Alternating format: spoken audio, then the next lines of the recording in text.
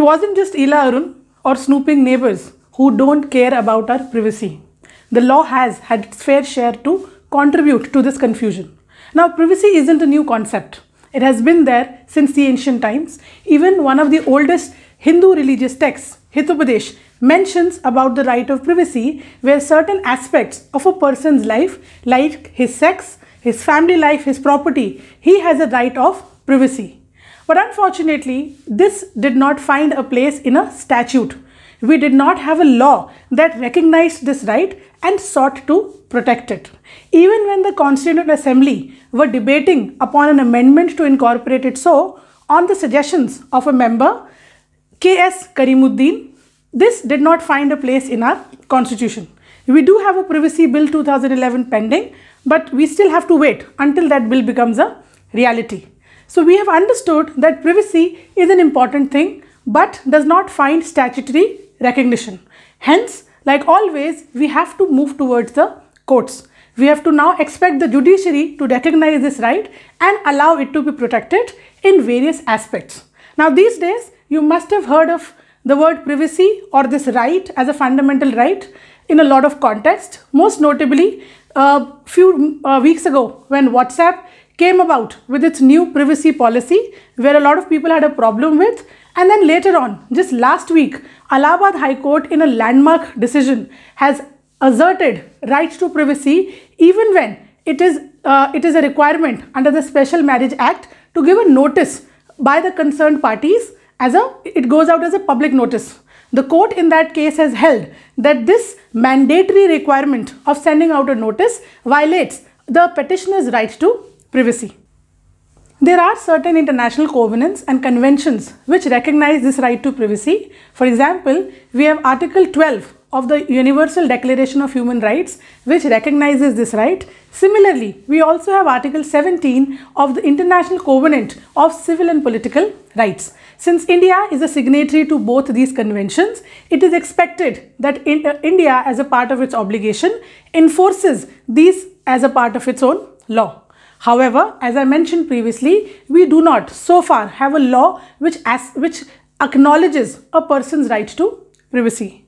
Now, before we understand the connotation of this right and whether this is a fundamental right or not, let us first try to understand the lineage.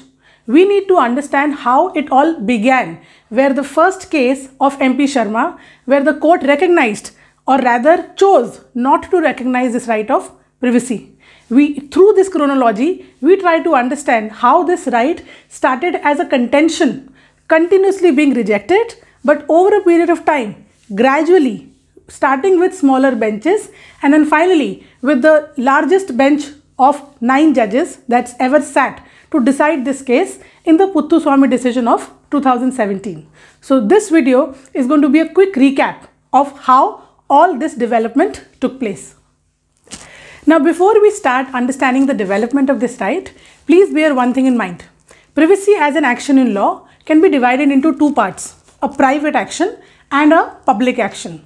So far as a private action is concerned, the only option or the remedy that law allows you is to seek an action of for damages in tort law.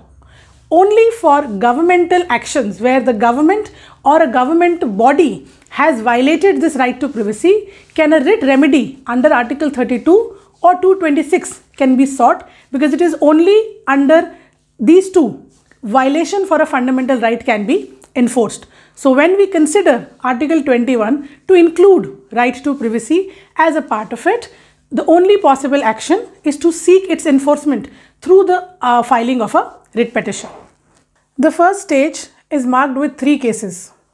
Out of three, the first two are landmark because benches of 8 and 6 respectively decided this answer in negative. It was the case of MP Sharma versus Satish Chandra where a 8 judges bench of the Supreme Court held in negative did not recognize that right to privacy can be considered as a fundamental right. The same approach was reiterated in the case of Kharak Singh versus State of Uttar Pradesh. Therein, a bench of 6 judges also stated the same thing.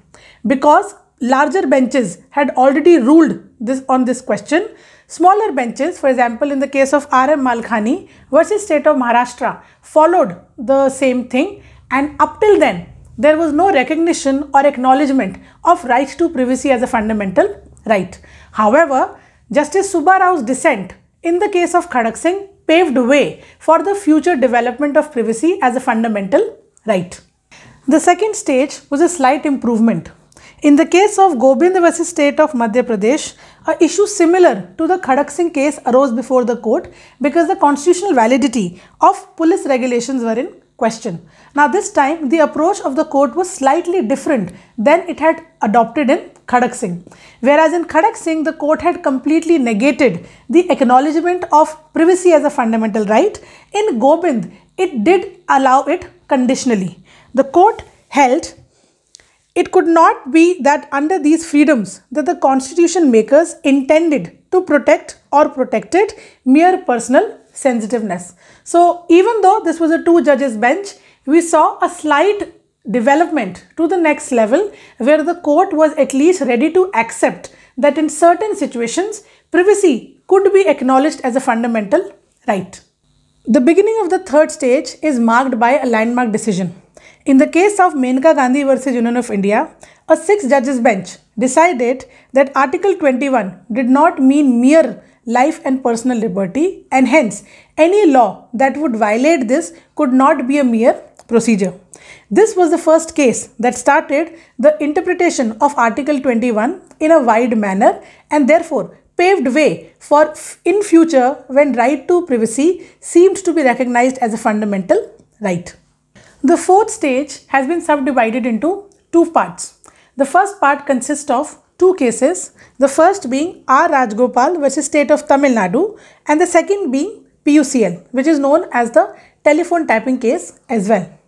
Interestingly, both of these even though were two judges bench decisions, they seemed to differ severely from the earlier large bench decisions of both MP Sharma as well as Kharak Singh. In these two cases, the courts accepted and reprimanded the violation of a person's right to privacy. In fact, in the case of R. Rajgopal, the court stated, the right to privacy is implicit in the right to life and liberty guaranteed to the citizens of this country by Article 21. It is a right to be let alone. A citizen has a right to safeguard the privacy of his own, his family, marriage, procreation, motherhood and all other means. In the second case of PUCL, the court reiterated the similar position. The second part of the fourth stage is marked with two cases. The first case is District Registrar and Collector, Hyderabad versus Canara Bank and others. In this case, a bench of two judges ruled that right to privacy over a person's financial documents is also an accepted and acknowledged right under Article 21. The second case therein is the case of Selvi versus State of Karnataka, which again a bench of three judges decided that privacy was a fundamental right duly protected under Article 21. This is the popular case where the Supreme Court had struck down the constitutional validity of invasive tests like narcoanalysis, polygraph and BEAP. The fifth stage is a landmark case. This was Mr. X versus Hospital Z where even though a small bench of two judges were there, they still held a very pivotal decision. They ruled that a person's right over right of privacy over his medical documents or medical information is also protected under article 21 and if were if somebody were to uh, disclose this information without the other person's consent it will amount to violation of that person's privacy this case has been included in the said list because even though it was a small bench, the court held an important ruling and also included an important modification. The court ruled that even though right to privacy is an acknowledged fundamental right under Article 21, it did however state that the same did not come without exceptions. For example, like in this case, the court ruled that even though right to privacy was a fundamental right, in the present case where a person's HIV status had been disclosed to his fiancée leading to the breaking of the marriage, the court did not find this to be actionable in law against the hospital because according to the court, this was to protect the fiancee's right to health. sexual health specifically. So by this stage, the court is now ready to accept right to privacy, albeit with certain exceptions or modifications like any other fundamental rights that it had recognized. The sixth stage comprises of two cases. The first case was the case of Naz Foundation versus Union of India. In 2011, a two judges bench of the Delhi High Court ruled a landmark ruling. In this, they decided that section 377 of the Indian Penal Code had to be decriminalized to the extent that it applied to homosexual community. This was a landmark case because until then, no court, whether it was a Supreme Court or any other high courts, had seemed to recognize that there were problems of drafting in section 377. Even though this ruling did not stand for long because it was consequently struck down by the Supreme Court in the consequent appeal of Suresh Kumar Kaushal versus Naz Foundation. However, all of this confusion pertaining to whether you have a right to privacy or you don't was finally put to rest in the case of Puttaswamy versus Union of India. In the case of Puttaswamy, a nine judges bench finally decided that right to privacy was a fundamental right. The bench was split on various other issues that were involved in that case, but pertaining to privacy being an important aspect of Article 21, the bench unanimously held it to be in affirmative. The bench also stated that there was no need of an additional law to verify and acknowledge this right of privacy. Articles 14, 19 and 21 read together were sufficient to protect a person's right to privacy which within its ambit also included aspects like right to dignity, right to autonomy and right to choice. The Indian judicial system was in dire need of a decision like Puttaswamy.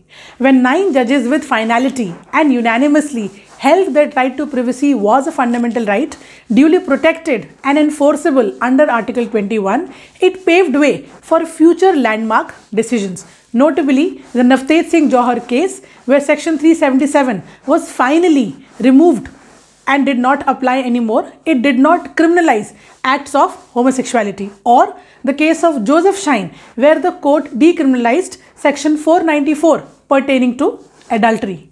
Recently, uh, in the case of Shafin Jahan, the court also applied the rulings from Puttaswamy to hold that a person's right to marry is also protected under, under right to privacy under Article 21. I have made a detailed video on right to marry and its enforcement as a fundamental right in the Indian constitution. I will provide the link in the description box and you will also find it somewhere on the screen.